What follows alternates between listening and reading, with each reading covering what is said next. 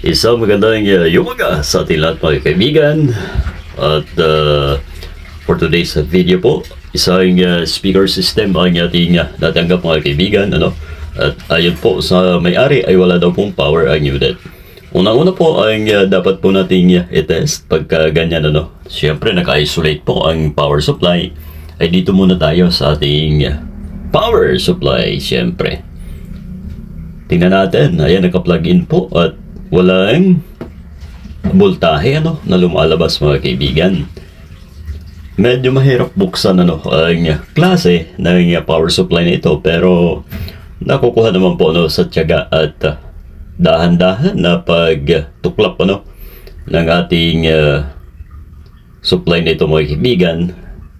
At ingatan ano, na hindi matamaan ang uh, ibang parts, yung mga pyesa po natin, no? mga kabalita. So, ayan. At syempre, ang uh, isusunod po natin na gagawin ay i-check ang uh, wire natin, ano, yung papunta doon sa ating uh, speaker, mga kaibigan. Dapat po nating malaman kung may putol ba o wala ang wire na yan, ano, mga kabalita. Ayan, gaya po nito. I-continuity test po natin. Then, saka na naman po tayo magpapatuloy doon sa ating next na gagawin. Alright, continuity test muna. Ang uh, ganitong paraan mga kaibigan ay paghanap ano kung may putol ang ating wire. Ayan, buo po.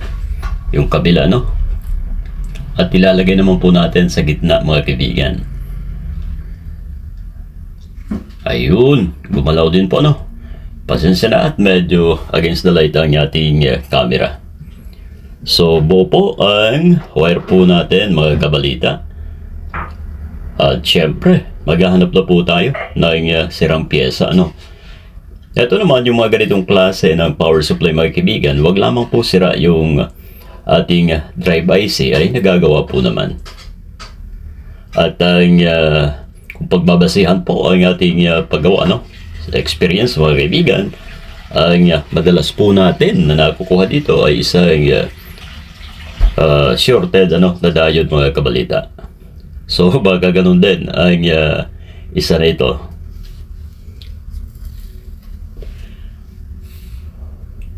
Ayan po yung uh, diode ano mga kaibigan. At uh, kung hindi po tayo nagkakamali, ito ay uh, ano, uh, 5 amperes ano mga kaibigan. At ito ay 100 volts. Ayun.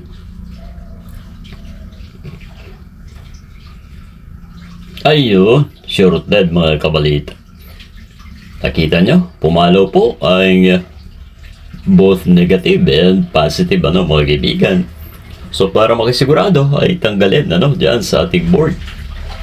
Kasi hanggat nakakabit ay uh, hindi po maiwasan ano na magkaroon ng continuity ang ating pyesa na yan. So ihang po natin yan ang uh, tamang uh, proseso ng uh, pag-check ano ng diode na yan mga kabalita. Alright. So ito, at atin pong uh, iangat muna, no? Ayan, o na, tanggal na po. Mas maigi, ano? Ibabalik lang po natin pagkabuo ang uh, diode. Forward. Check. Ayun, no? Pumalo din, mga kaibigan. At babalik ta rin natin, ano? Reverse.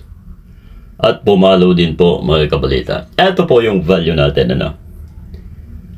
Ayan ang uh, 5 amperes na diode mga kaibigan. So dapat po ay uh, palitan po natin ang kaparehas na value no? ang ating uh, piyesang ito dahil pag hindi ay uh, kakaroon ng uh, komplikadong uh, sitwasyon ano mga kaibigan. Marami po tayo niyan ano. Naka-reserve na po ang ating mga diode na yan. Eto, eksakto ano. So, uh, ito na po ang uh, ipapalit po natin diyan mga kaibigan. Sure ball ito. At uh, malamang ay uh, mapaandar po natin ang uh, power supply nito mga kabalita no? Dahil ito ay uh, gamit daw po doon sa school ano? At wala silang magamit. Ito ugaliin po natin i-check din ano? Bago natin isalpak. Since ito ay uh, mga bunot ko na lamang po mga kaibigan dahil kung uh, o-order ay medyo mahal ano mas mahal pa yung uh, shipping uh, fee po natin. Ayan uh, alright lagay po natin medyo maiksi ang uh, kabilang paa no uh, dudugtungan na lamang po natin mamaya ng uh, kaunti ng mga kabalita. Etong uh, power supply na ito mga kaibigan ay uh, pagka bibili ay medyo mahal din po ano.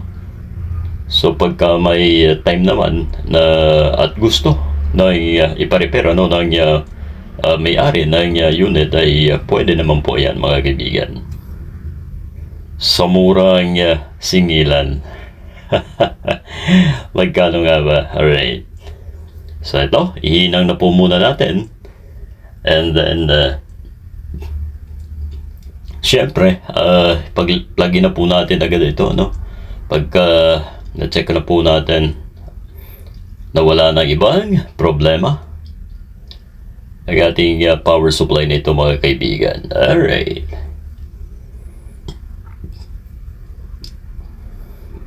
So yun, nagdugtong po tayo dahil medyo bitin ano ang uh, kanyang uh, pin Ayan, medyo pabilisin natin ang uh, video para hindi kayo mainip.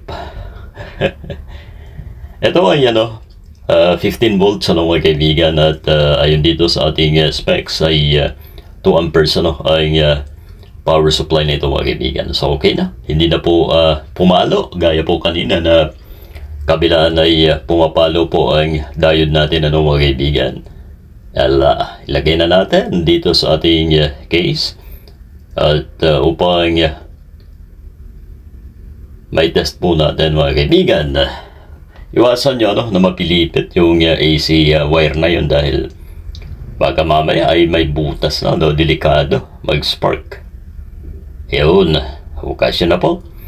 Pagkatapos po nito ay uh, nilalagyan lang po natin ng uh, uh, shoes glue yung glue po ano na nabibili.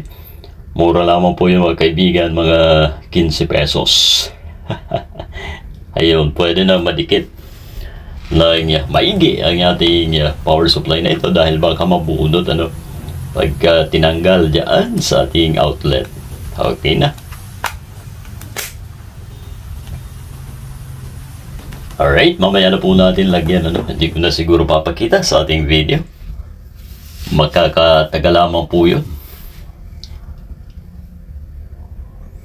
Siyempre, ang uh, gagawin po natin, i-plug in and then kuhanan po natin ulit ng uh, voltage measurement ano mga kaibigan. Bago natin uh, isalpak doon sa speaker system po natin. Alright, eto na. Ayun. 17 uh, volts ano ang na-read po natin medyo, medyo ano to uh, ahead ng uh, 2 volts ang ating rig na multi uh, tester mga kaibigan actually ang uh, tama ay 15 volts. So eksakto mga kaibigan. Okay na. Ang ating power supply na ito. Okay o ikabit na po natin upang uh, makapag-charge na.